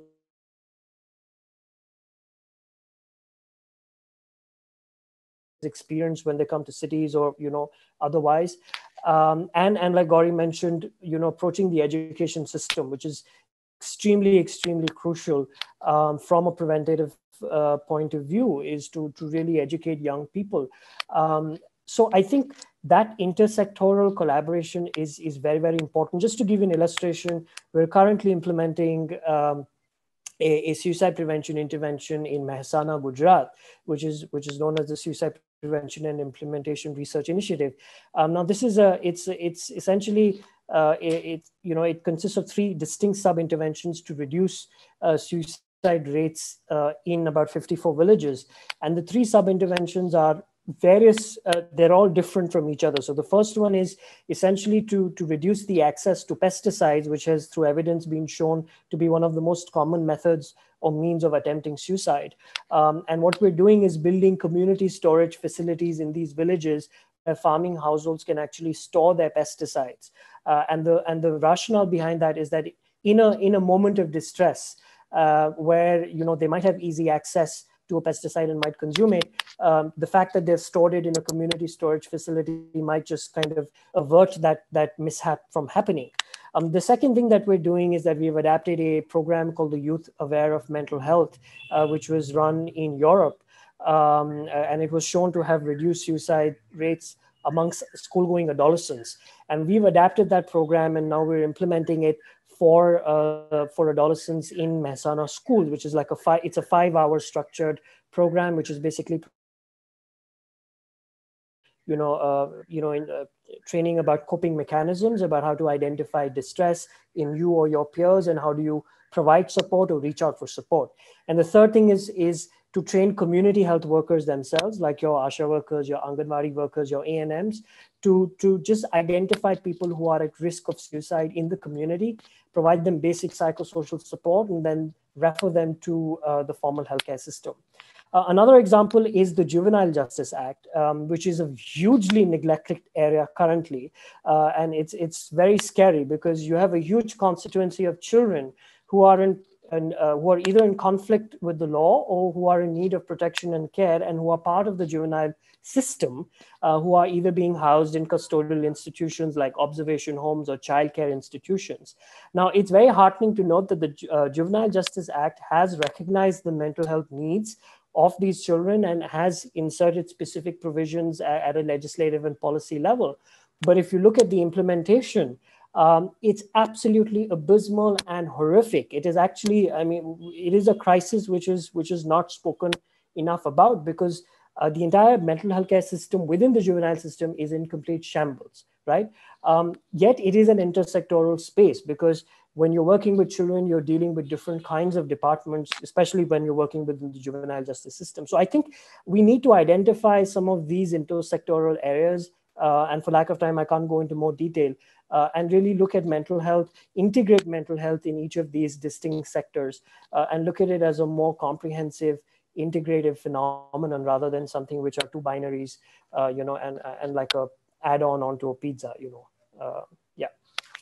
Right, absolutely. I definitely think we need to take the context into consideration when we talk about mental health. It doesn't exist in isolation at all. Um, Dr. Dr. Gauri, what do you think about this? Like, you know, these alternate um, ideas that we're talking about, these ways that we can provide services without relying on the systems that already exist. Uh, what would you like to, I mean, if you could add on to that? Yeah, sure. So I'm just going to talk about the work that we do in Sangath, which is really around this idea of training up non-specialists. And I want to, again, for the audience, you know, kind of try and um, define what is what it is that we do. So there is a concept called task shifting, and you know, a good example of that is where you train up, say, an ASHA worker to encourage women to go into a institutional delivery, uh, engage with antenatal services. So you give them a skill, and then they are out there and they're doing their job. Um, but I think what we really need in mental health is the more task sharing approach. And what I mean by that is you train up frontline workers, and we've had experience with a range of people you can train. You can train peers, you can train teachers, you can train parents, and of course, you can train frontline workers like Anganwadi workers and Ashas who've been mentioned. But I think, you know, there is a process in this where we have to be very careful. Um, it is one, uh, as I think what Kavita and Divya have alluded to, is like, what is the language that you use? Uh, how do you co-design interventions or adapt interventions so that communities really feel that they're being listened to? Uh, what our community needs. So I think um, and I'm sure, you know, Arjun has described a program uh, in Gujarat where they've taken interventions from somewhere else. And so I agree there's no point in rediscovering the wheel. But I think it's also important, like which I'm sure they've done, which is adapt. You know, how do you adapt in a way that you bring in uh, key stakeholder voices? Because it's only when something is adapted well that you are going to have you are going to make it acceptable uh, to a com- community. So that's really, I think, important. One is adaptation, which is contextual, incorporating local belief systems, uh, incorporating local language is important. Then I think what's really very important in the task sharing approach, and what we call it is a, a, a, a supportive training and supervision cascade. So you don't train up a worker and say, okay, now go do what you want. Uh, they actually are always working within a system where they know that at the top of this cascade there is somebody who will know more than me and so when my when my client's mental health problem gets more than i can handle i have somewhere to go to. So i totally am uh, you know for the fact that primary health centers are really the front line but primary health centers need ways in which more complex problems are shifted up. Uh, you know when because you know mental there is a small section of mental health problems which need more care uh, you know uh, which i think dr kishore has also alluded to in when we was when he was speaking. So I, I think this is you know the way i would conceptualize this that important to train but important to uh, first of all to understand the context. And i think most importantly i think we need to generate evidence that these things are working. So I think, you know, this, uh, this aspect of public health research, because we've heard how little money we have uh, to spend on mental health, we really need to spend it well. So when we're going out, we need good evaluation, we need good implementation process evaluations to really understand that it's, you know, this money is not being frittered away uh, somewhere in the community. So yeah, that's really my take on this. Right, right, absolutely. Uh, and like you spoke about this uh, community model, uh, I mean, you know, this training work that we're doing with non-specialized uh, healthcare staff. Uh, I think, um, Dr. Kishore, you were also mentioning, you know, these trainings of uh, primary healthcare workers. You know, if you could add on to the community models that you know that you also teach about and that you've also had a lot of experience working in the communities. What has your experience been like with these alternate models, and what kind of work do you think we should be looking at?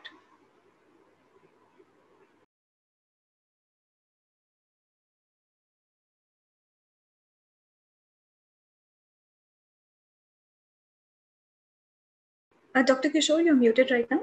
If you could unmute yourself. National Health Service as it exists today is unable to respond to multiple needs in the population. So if I have to go back to a primary healthcare system, which is located in a catchment area of 15 square kilometers, serving 30,000 population, which is focusing on preventive, promotive, and curative services. Largely, it has to work on preventive and promotive services. Multiple stakeholders are necessary, which will include which will include the Anganwadi teachers, the health workers, the ASHA workers, and other functionaries in the primary health care including those people who are in the informal sector, like the self-help groups, like Divya mentioned. There are a lot of informal mental health care activities that is going on. Everything need not have to be specialized. And if one looks at all these things with a specialized lens, then it becomes more and more a structural barrier to access mental health care and a barrier to reach out services to people.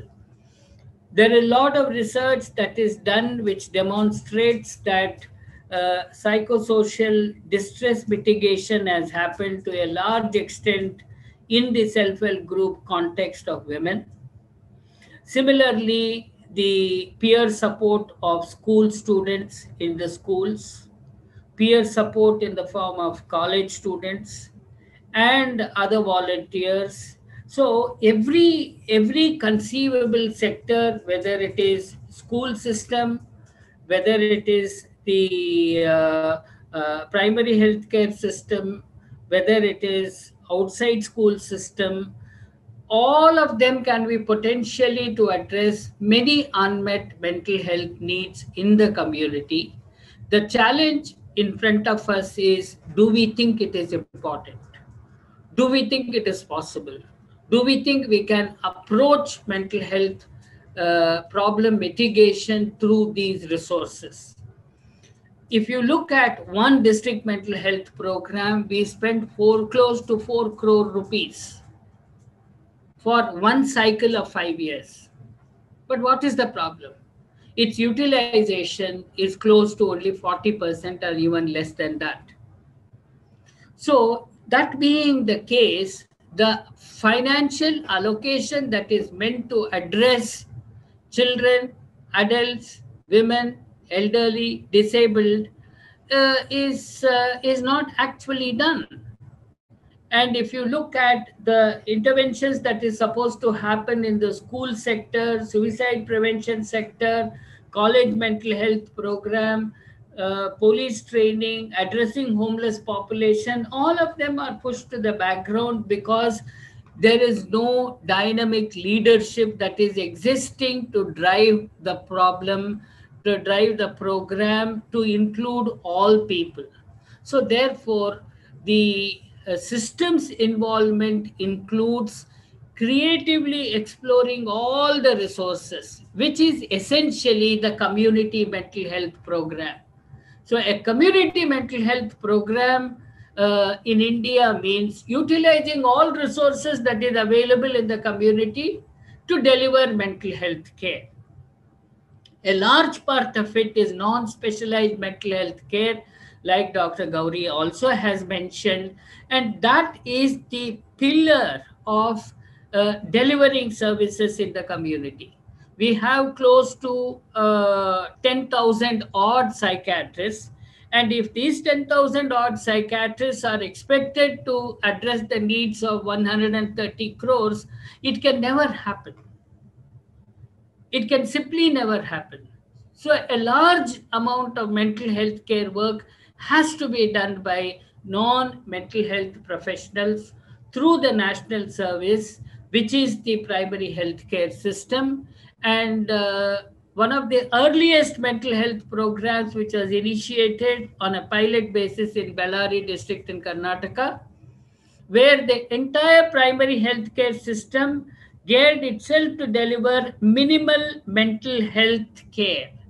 That is enough care for people to recover from psychotic illness, depressive illness, epilepsy, education about intellectual disability, education about dementia and care of demented individuals at home, we found that 52% of people in the community in the district of 1.5 million population in Bellary were covered.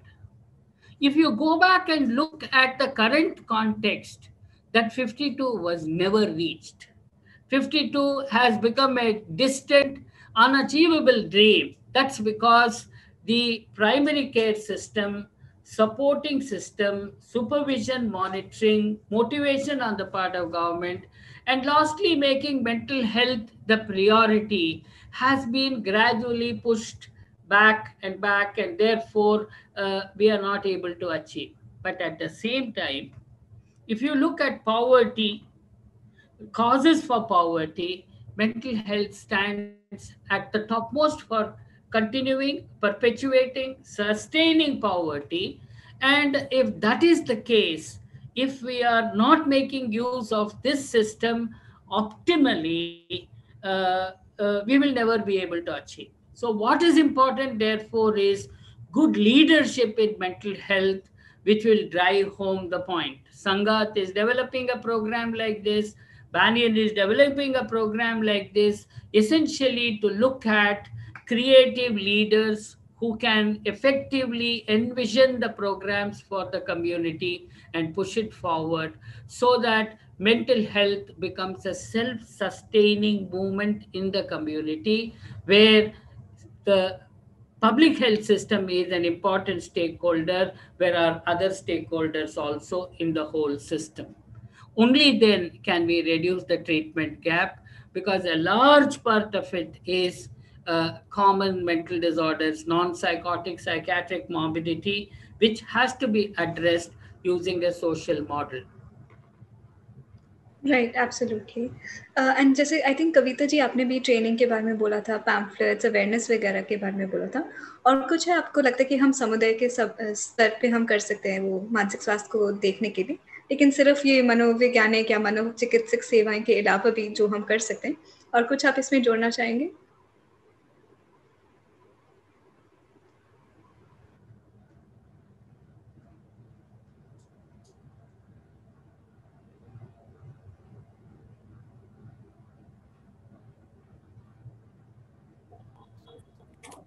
जी, अपूर्वा जी इसमें मतलब और भी चीज़ें हैं, जैसे समुदाय level पे हम लोग अवेयरनेस कैंप वगैरह भी लगा सकते हैं कम्युनिटी के साथ। और जैसा कि सभी ने कहा और मैंने भी कहा है कि आंगनवाड़ी वर्कर्स वगैरह, इनको मतलब थोड़ी ज़्यादा अवेयरनेस की ज़रूरत रहती है कि वो किस तरीके से मतलब बातचीत करने का उनका व्यवहार है।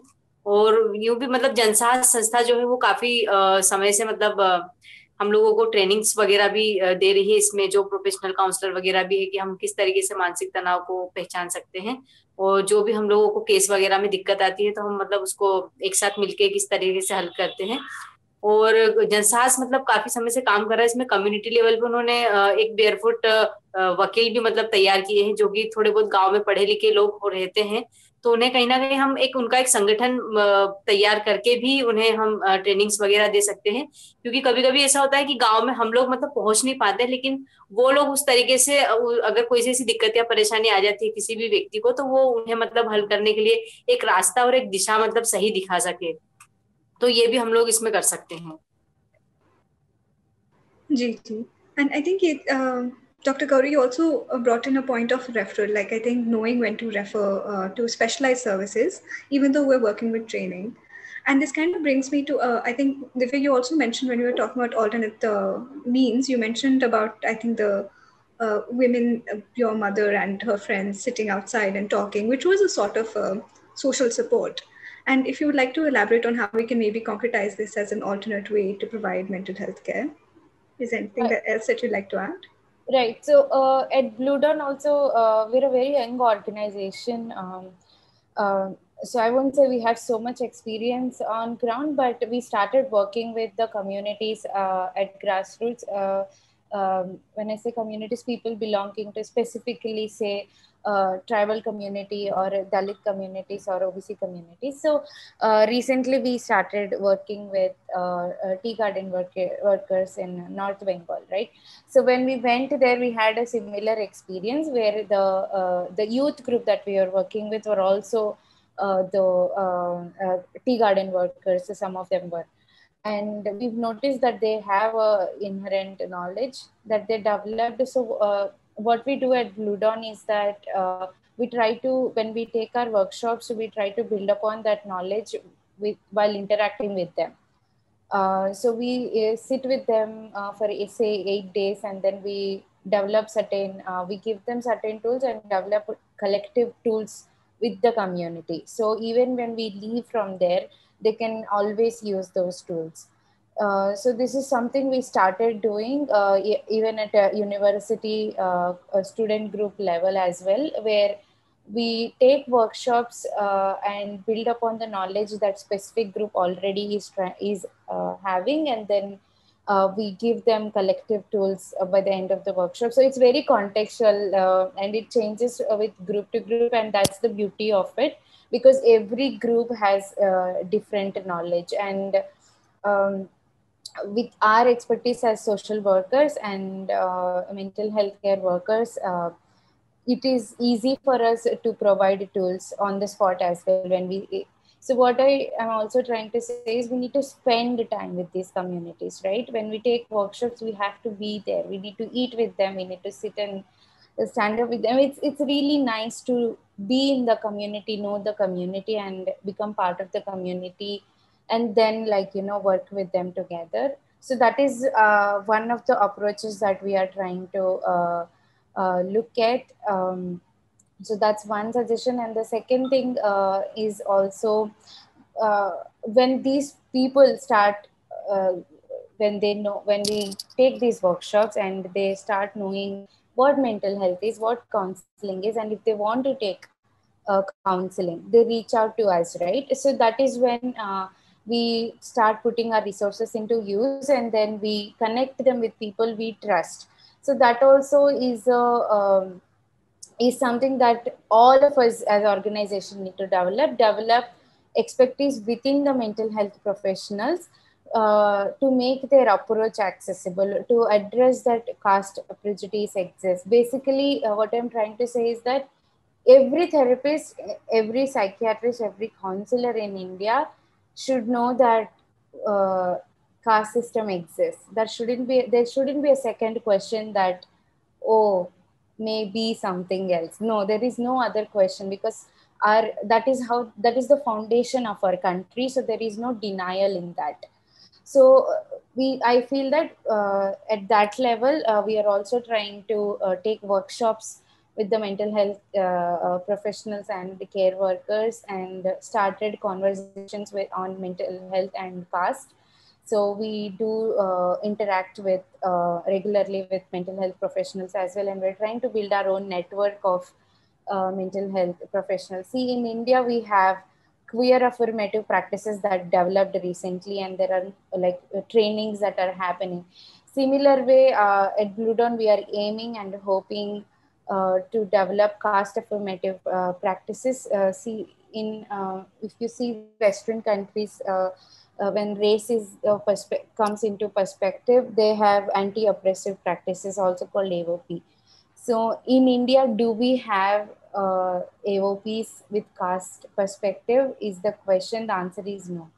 Uh, very specifically, I'm saying there might be work, there might be uh, so many trainings and uh, work that is happening along the same lines, but very specifically caste based, I think uh, that is a need of the hour. And uh, at Blue Dawn, we are uh, uh, trying to implement the same and to start building conversations on caste and mental health.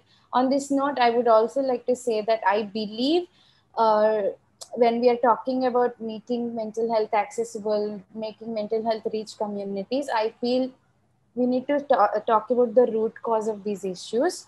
Uh, from my angle, uh, because we live in India, uh, caste system and religion are one such uh, structures uh, that are made that are putting so many people into uh, because caste system again will manifest into patriarchy brahminical patriarchy and then you know there are many things that caste system does not just oppressing say lower caste people. Even upper caste people and women especially brahmin women are affected by caste system right? Uh, so yeah i believe that uh, there should be a larger uh, uh, working model for us all of us acknowledge that this exists and start working towards annihilation of caste. I feel that is a, a real big uh, like you know solution and that's why our organization is called blue dawn so the, the, color blue represents anti-caste politics. When Ambedkar, Dr. B.R. Ambedkar started his political party, he used a blue flag. So for us, all of us at Blue Dawn, uh, Blue Dawn, we believe that we want to wake up to a Nila Asaman, like, you know, where uh, there is equity and there is less oppression. There is, um, you know, everyone is treated as human beings. Uh, so that is why we're also, our organization also is called Blue Dawn. Um, that's what i believe in. So okay. at larger level also we need to start talking because all these things should happen simultaneously. Right right and I think we've also seen that during the pandemic uh, काफ़ी लोग मतलब phone का भी इस्तेमाल करते हैं at least where mobility is concerned. Uh, I, I know that uh, कविता जी हम जनसास में भी फ़ोन के द्वारा काउंसलिंग वगैरह कर रहे हैं।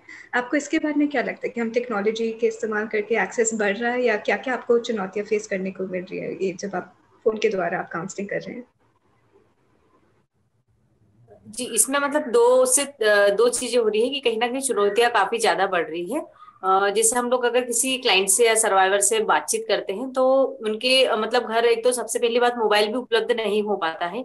दूसरी चीज़ ये है कि हम जब तक व्यक्ति से फेस टू फेस मिल नहीं रहे या हम उससे जान नहीं रहे हैं, पहचान नहीं रहे हैं तो कहीं ना कहीं हम उनसे बात भी नहीं कर पाते क्योंकि उन, उस ज़रिए उनकी परिस्थिति का, उनके व्यवहार का, उनकी जो आर्थिक स्थिति है या कंफर्टेबल है या नहीं वो हमसे बात करने के लिए तो वो वो चीज़ें भी हमें मतलब कहीं ना कहीं मिस हो जाती है और हमें पता भी नहीं चल पा रही है मतलब कि किस तरीके से हम क्लाइंट की जरूरतों को समझ सके या उनकी परेशानियों पर बात कर सके। क्योंकि कहीं ना कहीं उन्हें घर से भी ऐसा माहौल नहीं दिया जाता है कि वो फ़ोन पे मतलब अधिकतर बालिकाओं को, जैसे हम लोग केस भी देखते हैं यहाँ पे बालिकाएँ अगर किसी के साथ चली जाती है, जो माइनर बालिकाएँ रहती है तो पेरेंट्स का एक नज़रिया बन जाता है कि इनकी गलती इनको हमें मोबाइल वगैरह भी नहीं देना है।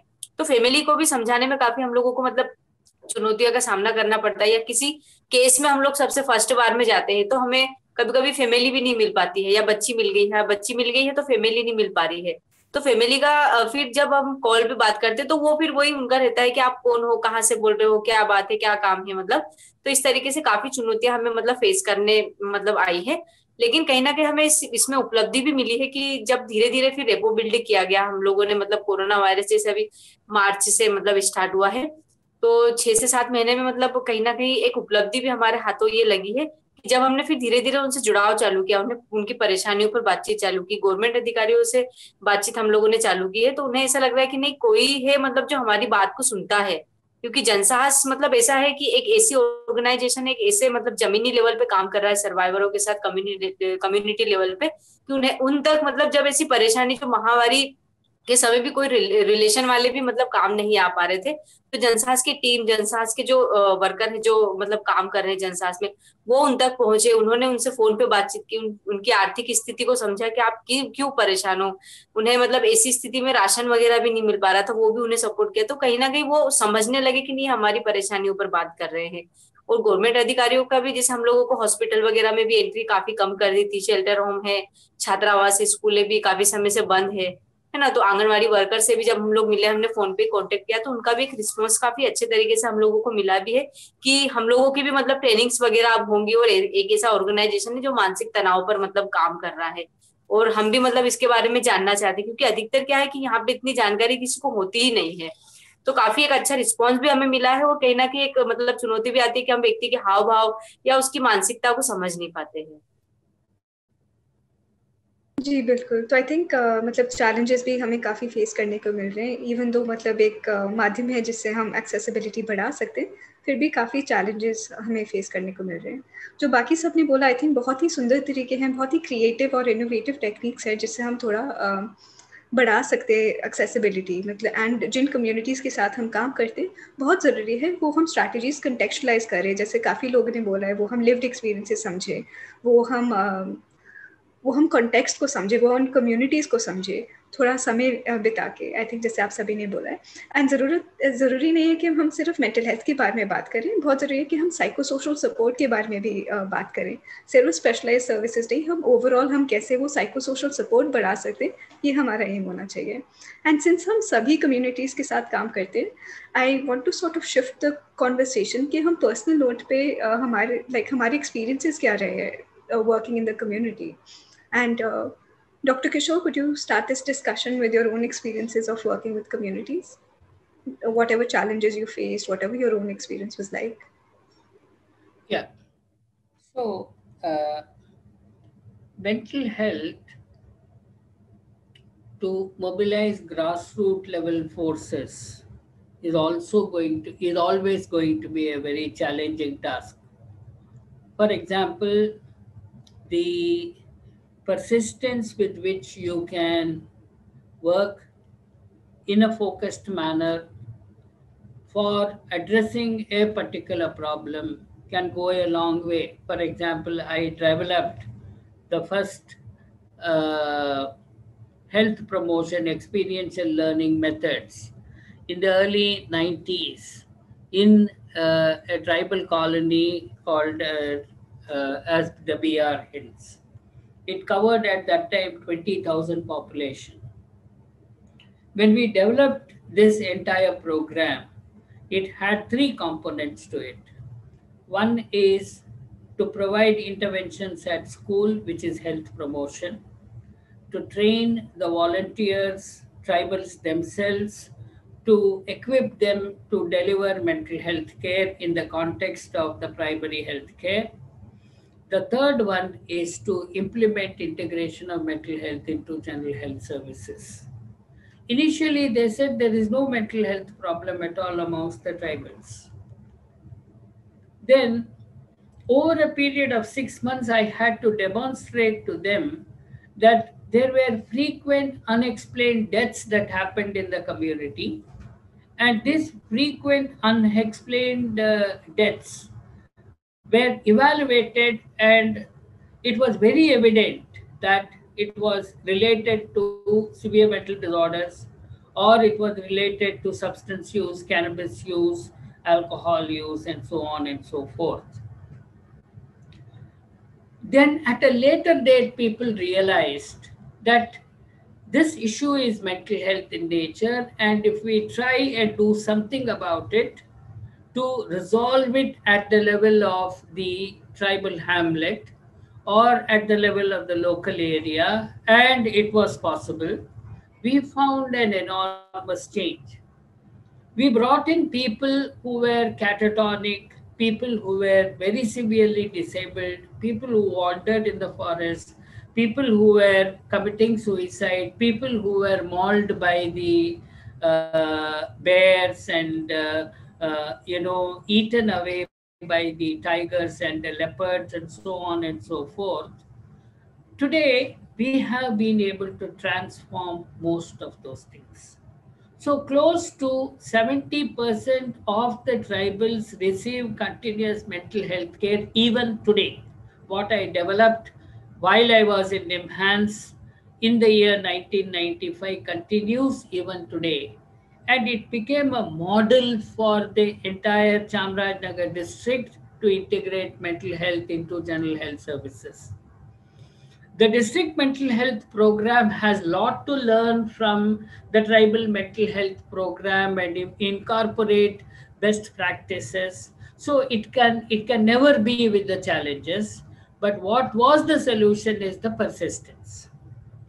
The second thing that I wanted to talk about is an Nalam model, where uh, minimally educated women in the community can turn entrepreneurs, they can be trained, and they can be made to work with the decentralized system of governance in, uh, in the panchayat level, and they can try to address only the social issues.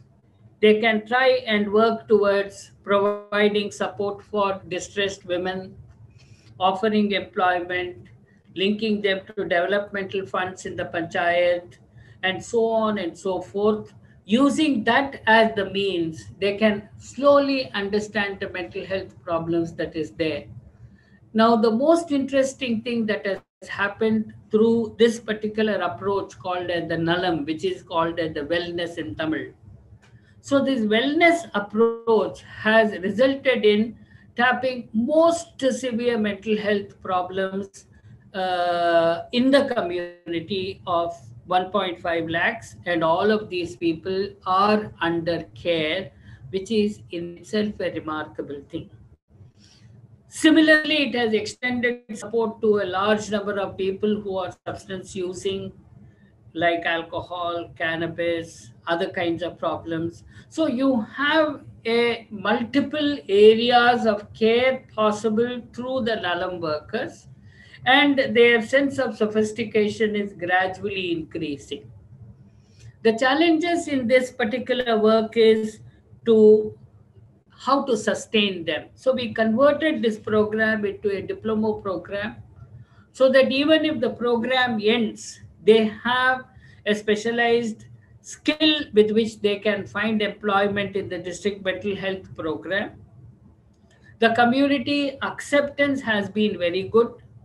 We have been able to raise resources to support them. And uh, today, there is a lot of ground level mental health activity going on, which is standing by the primary healthcare system. So the challenges are funds, breaking the barriers, making these people accept, like, for example, a large number of these women were Dalit women, and their acceptance in the community was a problem, but we have worked through them and they are now able to accept. But this process has taken several years for us to achieve. What we started in 2012, over eight years, we have a phenomenal work. This model is implemented in Sri Lanka, Northern Jaffna, and several other places in the country. so, any initiative is not without challenges, but the challenges have to be understood from being in the field, closely understanding the processes, and committing to solve the problems rather than just uh, just trying to understand yes there are problems. The moment you solve problems the people also feel more empowered they stand by you and they are willing to take this forward. All right. Thank you. Thank you. Um, dr gauri uh, what has your experience been like? What kind of challenges have you faced? What kind of yeah, things so, do you think yeah, yeah. thanks, uh, Apurva. So you know, I, I, I think you know there are always challenges, and I think what you know, Kish, Dr. Kishore and Divya have both pointed out is that the challenges are very unique to every community. But I think you know it is really how you go into these uh, communities that is important. I think if you are respectful uh, of their um, belief systems, if your engagement is not superficial but meaningful, I think that's important so I think, uh, you know, making sure that it's not a participatory approach just because that's a word we use, but it's truly participatory where people are listened to, where they, um, I, I kind of mentioned this a little earlier also, where they are part of the co-designing. So what do communities actually want from a program on mental health or well-being? Um, and so one of the key things that we often do as an organization is we do a needs assessment, for example. So, you know, if we look at a school setting, we ask all people within a school structure students, management, staff, uh, parents what do they feel is important? And it is those, uh, you know, it, it's only once you get people's views that you can then have a conversation with them about which of those you can potentially deal with. Because, you know, sometimes the problems are as we have already described, they are bigger than what a program can do because some of these are very, uh, you know, socially determined. They, they are structural in their ways. But you can say that, look, within our mandate, these are the two or three things that we could help uh, support. And I think if the if these conversations are respectful and uh, these designs support, as Dr. Kishore said, an iterative process where you know communities come back and say no you know we feel this is the shift we want to make or this is the focus we want. That programs and uh, uh, you know program organizers or developers like people like Sangath or the banyan have to be listening. So that is i think you know i think otherwise communities are really uh, looking for guidance because communities are struggling. But I, I think we have to use their language. We have to be very respectful uh, we have to be respectful, particularly for their beliefs, because you know, particularly mental health. Um, you know, there are multiple explanatory models. People think things could be spiritual, they could be supernatural, they could be supranatural, they could be karma. So you know, there are a lot of belief systems in the ideas of mental health, and I think we have to respect those, but move people towards evidence-based treatment. Uh, so how do we synchronize these beliefs to what we know is the best evidence is really very important. Right, absolutely. Um, Arjun, what kind of things do you think we should keep in mind when we're working with our communities?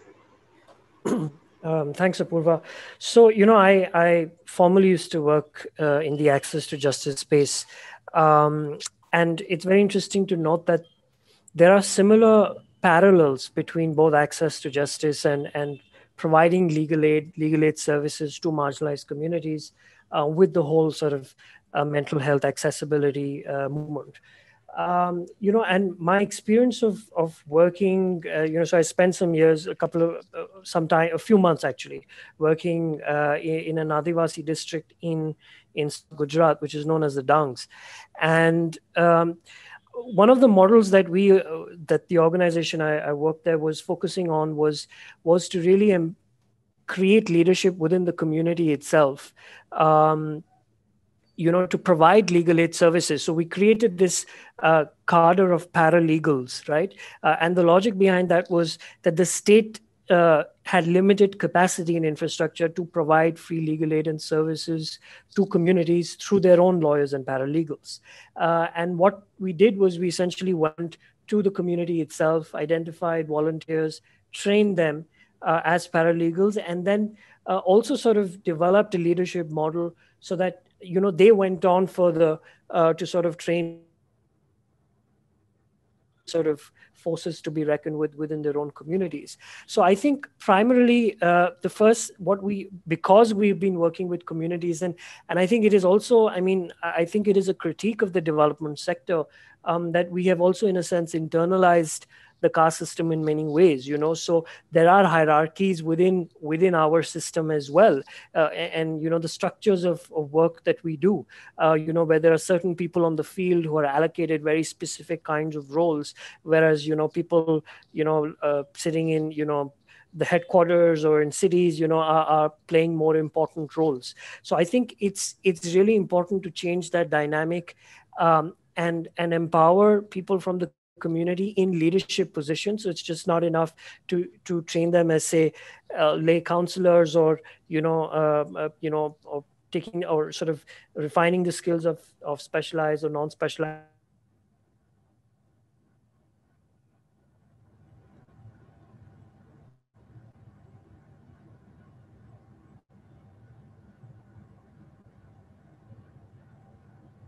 Uh, yeah, I think uh, Arjun, you've been disconnected.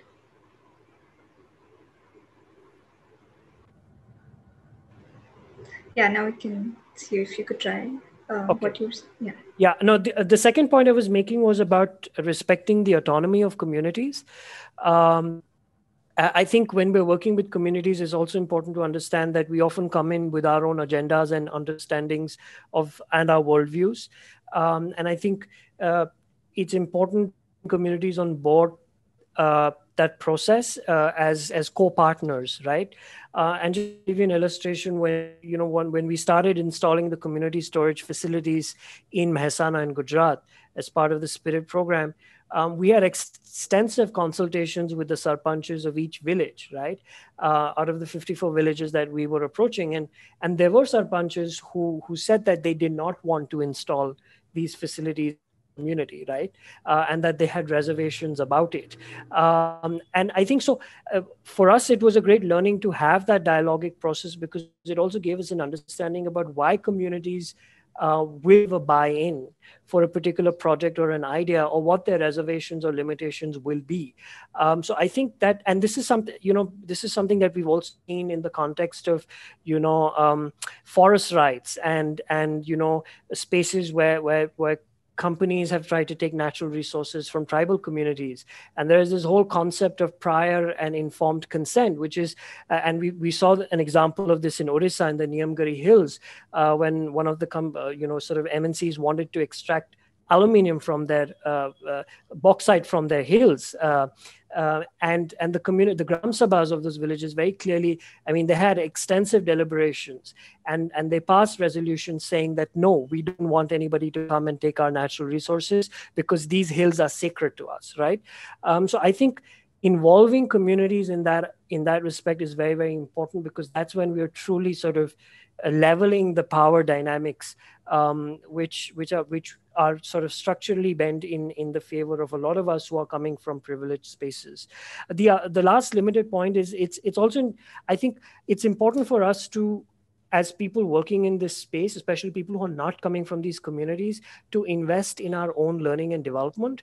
Because I think it's also uh, it's unfair for us to put the burden on these communities to teach us um, about their lives. And and this is a, this is a criticism which I have received from communities themselves to say, and this is from the Access to Justice space to say that a lot of people come in from outside, they work with us, they take our knowledge, and then they go away and they make their careers. Right? What's in it for us at the end of the day?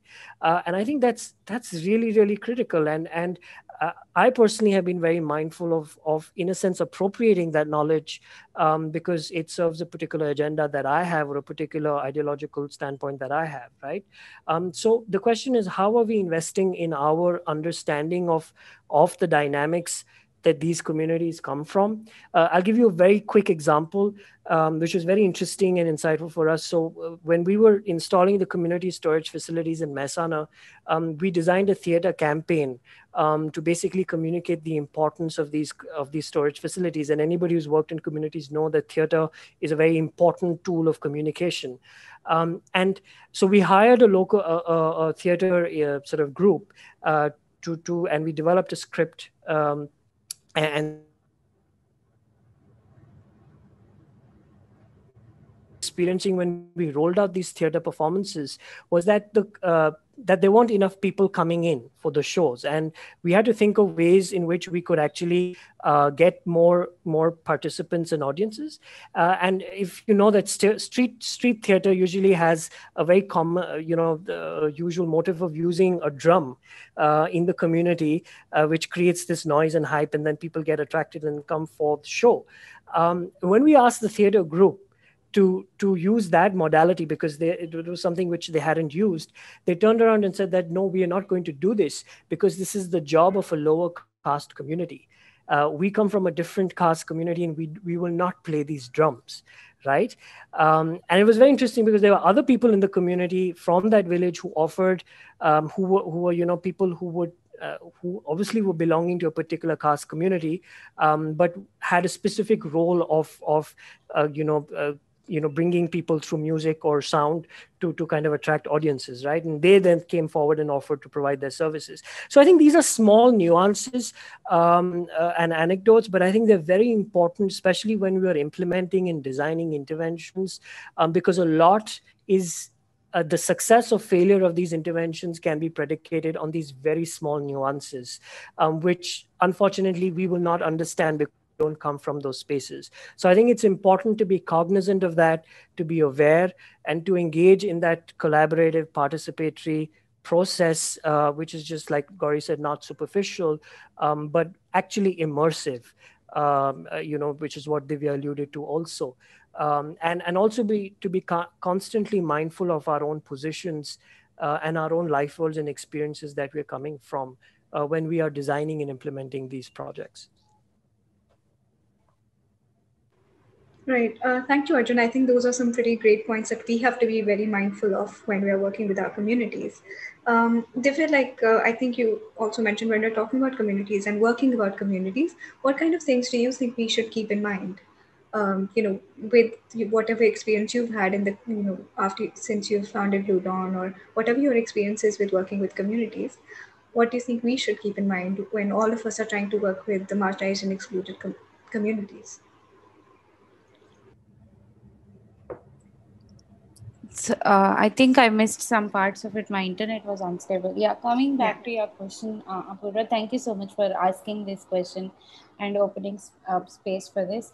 Uh, um, so I myself come uh, belong to uh, a marginalized community, but again, there are so many layers of having certain kinds of privilege right like uh, class perspective and then access to education etc so whenever we go to communities that are under privileged than uh, we are. Uh, I think at Blue Dawn, uh, our strict policy is that um, we don't go and occupy their space or their uh, private space or their community that they already have. And because no matter what no matter even if you're belonging to a same caste community we are still outsiders because of various other things right? There are so many other categories that we need to always keep in mind. Um, uh, so uh, what we always try to do is uh, first thing is very basic. Start uh, we start developing the human uh, interaction. I speak from a very basic level uh, because i think all of us miss the basics. Um, so like you know it's not there is a uh, inherent power position that gets developed when we go as therapists when we go as a facility like when we go as someone who is conducting a workshop right? People will start calling you sir ma'am right uh, and addressing you with uh, will you see that the body language differs when they are in front of you right? So that is the first marker that i think where we need to start establishing that equal uh, relationship with them and when we start saying you can call me by my name i think that's also is very important. I know this is very uh, basic but this is a from my experience i can tell you that it, it will make a huge difference. When you start uh, uh, breaking those uh, power equation between you uh, as a uh, expert or professional with the community right? And the second thing i always um, uh, we at blue dawn also believe that we are not someone doing a charity work or helping a community. We are actually people uh, who are there to just facilitate these communities because there are the resources that they do not have are because of the people like us you know uh, so it is because of globalization it is because of capitalism and casteism that they do not have these resources. These resources have been China gaya hai wouldn't say right? So we are just going there to give it uh, back to them what's there. So uh, we always uh, look at ourselves as just friends or backers or supporters to these people mostly as friends to these people who are there to visit them and you know start building that uh, kind of relationship with them than uh, than as an expert. So we look at them as experts and we as uh, facilitators and friends. And we are just there to guide them and uh, uh, support them while they're navigating their own emotions while they're navigating their own practices and uh, um, feelings. And the third thing that i believe is that we also need to work on ourselves so we all all of us inherently have certain uh, prejudice because of the conditioning and also the social fabric that we live in right uh, बचपन से हमको बोला गया है कि this person or this uh, friend of yours is less than you uh, because they are uh, by birth from certain community right or this person uh, or in college level you believe that some person is lower to you or doesn't deserve to be in that space just because they came through an affirmative action, which is a constitutional right. Still, you believe that they don't deserve to be there. Uh, uh, uh this uh, flawed merit concept also come into picture, right? So all these things we have inherently, and basic term is that all of us in our households, most of the people uh, keep separate utensils for the domestic workers. So if you are doing that in your in our house told i don't think you have a right to go into any community and work and later build a career upon it so i believe that at a personal level uh, we also need to always uh, check our own uh, privileges and our own uh, uh, prejudice and uh, work on that and um, yeah i think the list will go on but at a practice level i also believe that we when we engage with communities let us not look at them as people who don't know anything. Like they're so power uh, they're not power at all. Uh, they are experts uh, uh, uh, by experience and so i i believe like that is where uh, we also need to start working on and ourselves and the structures in our own households also. I feel before going into working with these communities and so-called uplift them and empower them we need to empower our own households that are ableist and casteist. Uh, and uh, so i think that's where uh, we need to start. Right right um, yeah, I think thank you everyone for whatever points you've said. I think they're all very powerful uh, and very important to keep in mind that we're not the experts, we're entering communities as outsiders, and there are a lot of things that we need to keep in mind uh, we need to keep our own position in mind. We need to keep, keep that language in mind. We need to be open to listening. Like, and a lot of you have mentioned other points too, and learn, uh, and also unlearn. I think simultaneously, along with learning, we need to also unlearn all of the things that we've been conditioned to do. I know we've overshot by like quite a bit actually. Um, I think like if anybody has any uh, questions, you can uh, quickly. We might take like a couple of questions. Otherwise, we're we've overshot by 30 minutes. So if there are any questions, you can leave them in the chat or you can raise your hand to ask anything.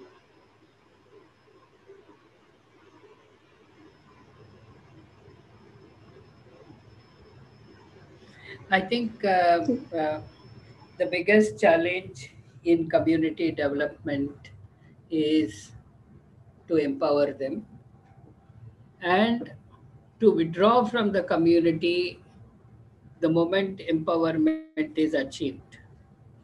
Sometimes organizations coming from outside can develop a lot of identity crisis, power issues, and they're not willing to move away. And they want to be patronizing all the time. And this is one of the reasons why local potential has not been harnessed to the extent it can be, it should be. Therefore, my approach would be to assess the need, involve people, make them participate, empower them, withdraw. Right, absolutely, absolutely. So I guess we can uh, wind up right now. I don't think there are any questions. Um, so I'd just like to thank all of you for taking the time out to be here and to our esteemed panelists. Uh, thank you so much for being a part of our webinar, sharing your insights and carrying forward this uh, conversation, this discussion on accessibility, on working with communities, right? This is often a neglected conversation and I'm just really happy that we have the space to do it right now.